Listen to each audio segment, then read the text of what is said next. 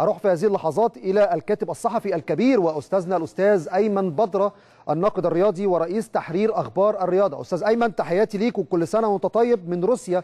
معانا على التليفون يطمنا على استعدادات المنتخب وحمد لله على السلامة. آه الله يسلمك يا أستاذ محمد. آه تحياتي لحضرتك تحياتي لكل السادة المشاهدين. آه كل عام ومصر كلها بخير. إحنا بنختم آه شهر الكرامات وشهر المغفرة شهر رمضان. إن شاء الله أول يوم العيد نستقبله بفرحتين فرحة قبول الأعمال فرحة آه آه يعني قبول الطاعة وفرحة الفوز لمنتخب مصر إن شاء الله. وأنا مش مبالغ إذا قلت إنه في حالة من التفاؤل حالة من الثقة لمسناها النهارده.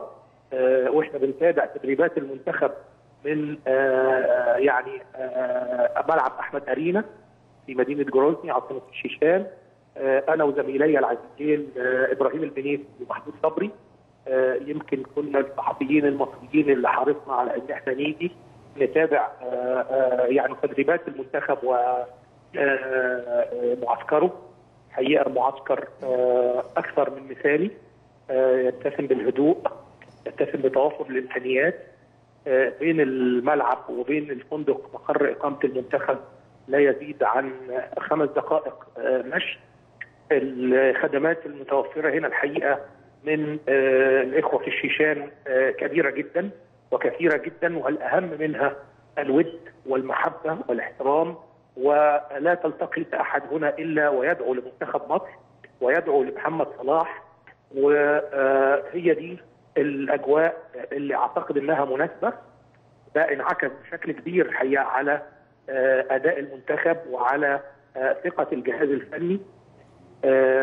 معلش اسمح لي إنه أقول لمشاهدينا مشاهدي قناة النادي الأهلي ومشاهدي الكرة المصرية اتفضل يا أستاذ إن شاء الله بإذن الله بنسبة كبيرة محمد صلاح سيكون يعني مشارك في مباراة أورجواي إن شاء الله.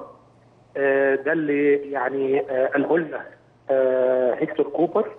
هيكتور كوبر كان عنده يعني ثقة لما سألناه عن مشاركة محمد صلاح. قال إن هو متفائل جدا وقال إنه محمد صلاح شارك النهارده في جزء من التدريبات كرة القدم وإنه إن شاء الله بإذن الله في تدريب بكرة اللي هيقام في الملعب اللي هتقام عليه المباراة هيتحدد ما اذا كان سيشارك في جزء من المباراة أو من بدايتها. ده معناه انه إن شاء الله بإذن الله بإذن الله تعالى مشاركته شبه محسومة ولكن تبقى تقديرات الجهاز الفني بالطبع مع تقديرات الجهاز الطبي ما إذا كان يستطيع أن يشارك في جزء من المباراة أم في المباراة من بدايتها. وده إن شاء الله بإذن الله أعتقد إنه بينعكس ايجابيا على أداء المنتخب فنيا وأيضا بينعكس على الخصوم لأنه طبعا وجود يعني نجم كبير بهذا المستوى إن شاء الله بإذن الله تعالى بيدي دافعية فنية ومعنوية لزملائه وللجماهير وأيضا بينعكس على خطط واستعدادات الفريق المنافس. بالفعل أستاذ ايمن حضرتك كنت معانا كمان على الهواء يمكن بنعرض لقطات لمحمد صلاح في تدريبه. مع على فكرة أخصائي التأهيل في نادي ليفربول الإنجليزي متواجد معاه لحظة بلحظة. أكد فيها إن تشكيل المنتخب مش هيعلن إلا في ساعات قبل مباراة أوروجواي. يعني هيعلن تشكيل المنتخب صباح الجمعة وبالتالي هو منتظر موقف صلاح وشبه محسوم الأمر بالنسبة له في مشاركة محمد صلاح في هذه المباراة. آه، تمام. هو زي ما بقول لحضرتك النهارده كان تدريب آه يعني آه تدريب عالي المستوى. كان فيه آه يعني حماس شديد جدا وكان فيه آه روح معنوية عالية وكان فيه آه شيء من الود الكبير بين اللاعبين المنافسة القوية تسديدات على المرمى من مسافات وأبعاد من أبعاد مختلفة وزوايا مختلفة. خد وقت كبير الحقيقة من ال من ال من اللاعبين. النهارده حضرتك بتتكلم على آه يعني عناصر آه كتير جدا جدا عندها قدرة على آه المنافسة ما بين الحراس الثلاثة الحقيقة كانت منافسة قوية جدا والحقيقة إنه الجهاز الفني حرص على إن هو ما يبينش مين سيشارك من الحراس الثلاثة. طبعا أحمد ناجي مدرب حراس المرمى الحقيقة ادى جرعات تدريبيه قوية والحراس الحقيقة شاركوا في بعض التدريبات الجماعية. النهارده الفريق طبعا أدى تدريبه وانتقل إلى مدينة كيتنبرج وان شاء الله بإذن الله تدريبه الأخير بكرة هيحدد بشكل كبير ملامح التشكيل.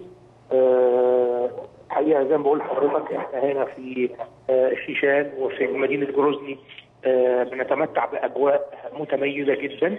المنتخب الحقيقة بيلقى كل الود وكل الخدمات وده اللي أكد عليه حتى يعني المهندس إيهاب لهيطة قال إن من أول ما جينا إحنا اخترنا المكان ده لأنه الأقرب إلى الملعب لأنه في تسهيلات وخدمات كبيرة جدا لأنه الإخوة هنا في جروزني حريصين جدا جدا على تشجيع منتخب مصر وعلى إن هم يوفروا له كل الأجواء ويرفعوا من روحه المعنوية.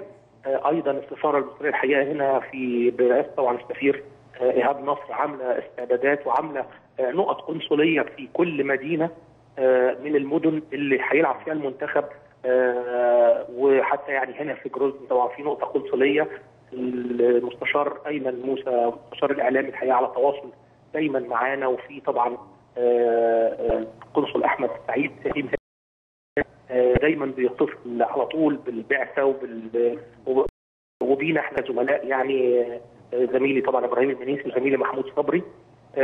عايز أقول لحضرتك إنه كوبر أكد على صعوبة مباراة اورجواي بشكل كبير. قال ده فريق بقاله 10 سنين عنده استقرار مع الجهاز الفني عنده مهارات فردية عالية جدا عنده اثنين من أخطر اللاعبين في العالم سواريز وكافاني. عنده طبعا قدرة على الانسجام بشكل كبير لكن ده دي كلها القواعد النظرية في كرة القدم. الشيء العملي في الملعب ممكن يكون فيه شيء آخر ممكن يكون فيه مفاجآت وقال دايما كرة القدم فيها مفاجآت؟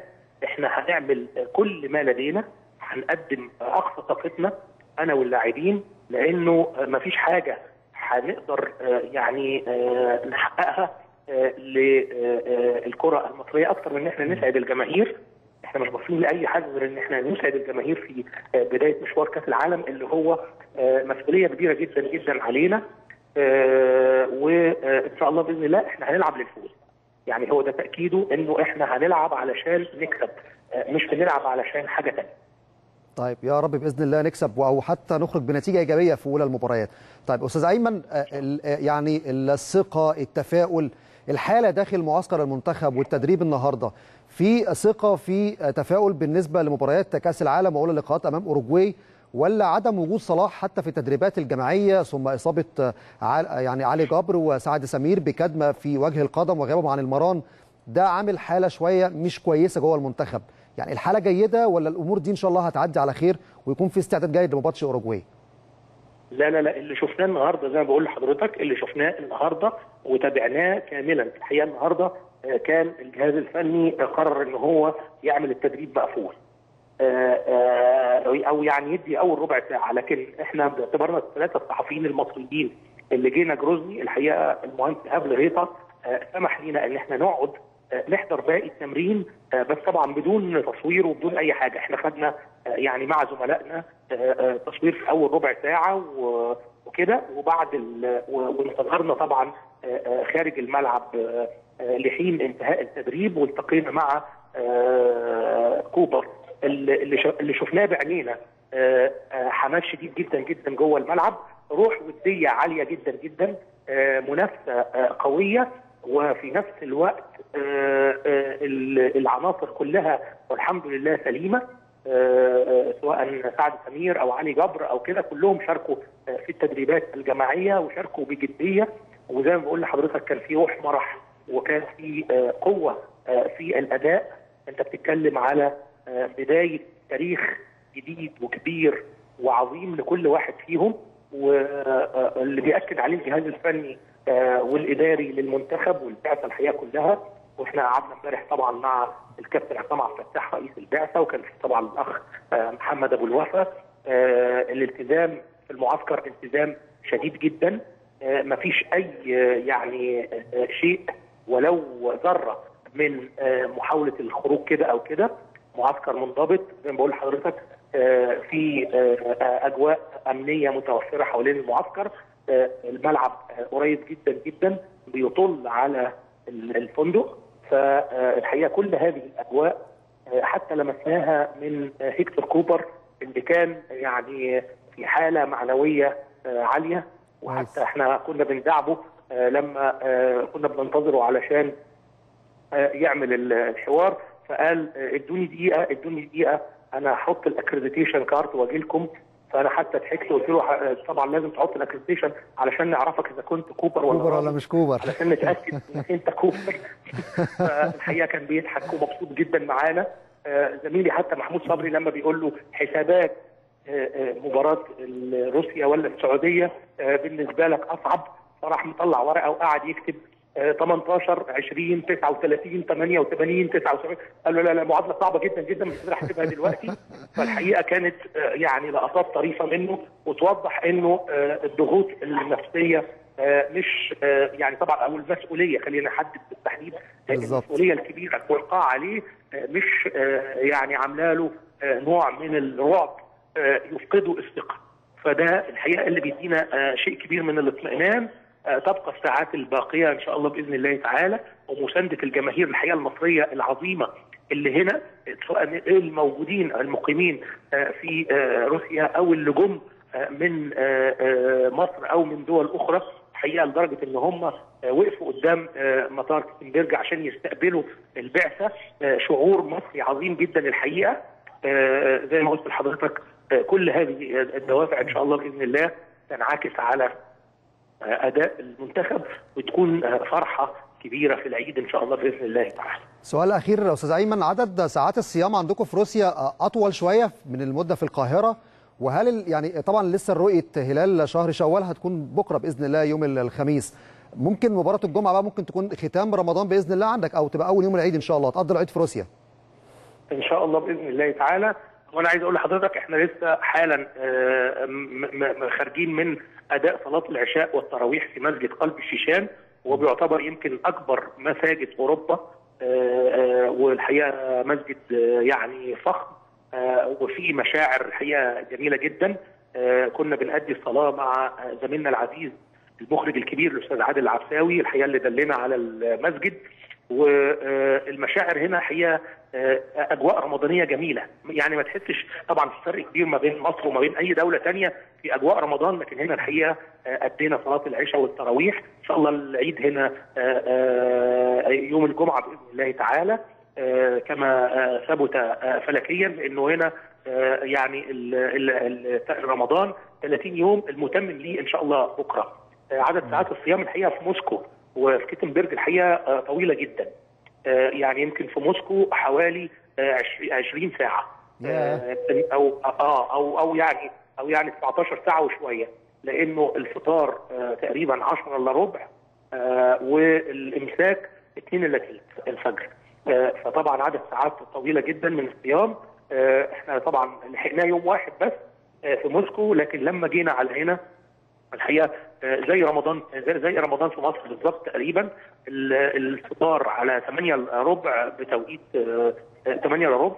والامساك 2 ونص. يمكن فرق ساعة زيادة آه، في عدد ساعات الصيام هنا في آه، جروزني آه، فرق التوقيت ساعة. لكن فرق التوقيت ما بين آه، كيتنبرج والقاهره حوالي ثلاث ساعات.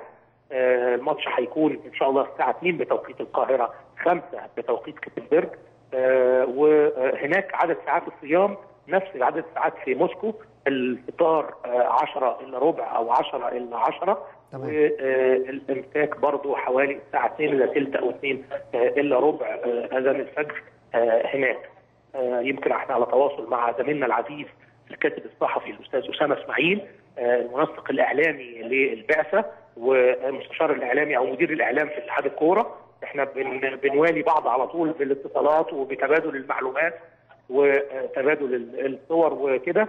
والحقيقة في تنسيق كبير جدا بيننا وبين بعض علشان نقدر نوصل للجماهير صورة وأداء منتخبنا. في المهمة اللي إحنا بنتطلع ليها من يعني 24 سنة لأنه إحنا من 28 سنة كنا في كأس العالم 90 قعدنا طوال 24 سنة الماضية نحاول إلى أن نجحنا. الحمد لله إن إحنا نكون في المونديال آه هذا العام إن شاء الله بإذن الله ونتمنى إن شاء الله بإذن الله كلنا آه مع العيد نفرح بانتصارنا على اورجواي نتمنى إن شاء الله بإذن الله تعالى إنه آه نواصل وطبعا أدائنا قدام روسيا يبقى بشكل كبير برضه متميز. مباراة هتقام في سان بطرسبرج مباراة تحظى باهتمام كبير جدا جدا الحقيقة. مباراة مصر وروسيا من الجاليات حتى العربية اللي هنا.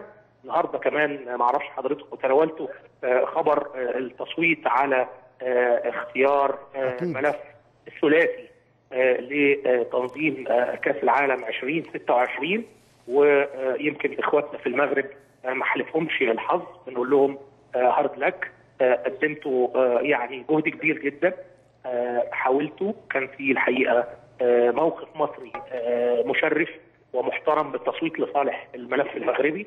وتأكيد على المساندة المصرية للملف المغربي عكس ما كان بيشاع من بعض يعني اللي بيحاولوا يصدروا الإحباط أو يصدروا الفرقة لأنه كانت صارت إشاعات الحقيقة في الشهر الماضي حوالين الموقف المصري لكن الحمد لله النهارده مصر بتؤكد موقفها المعلن بمساندة المغرب. ويمكن طبعا التصويت انكشف والفيفا أعلن مين اللي كان مع الملف المغربي ومين اللي كان مع الملف الثلاثي. دي عموما اختيارات. نتمنى إنها ما تنعكسش على العلاقات. لكن بنقول لإخواتنا في المغرب معلش هارد لك. وإن شاء الله بإذن الله تعالى يكون في فرصة أخرى إن شاء الله.